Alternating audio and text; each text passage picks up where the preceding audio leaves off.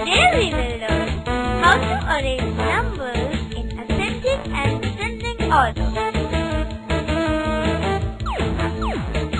For example, the numbers are 691, 284, 325. We have to arrange these numbers in ascending order.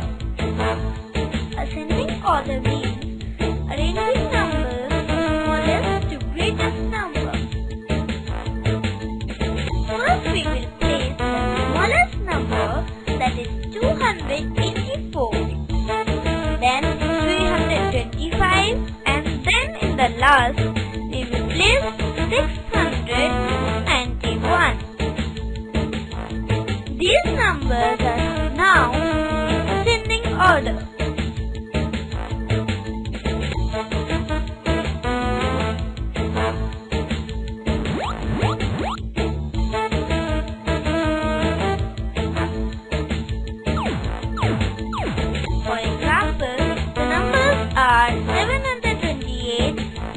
351. We have to arrange these numbers in ascending order. Ascending order means arranging numbers from greatest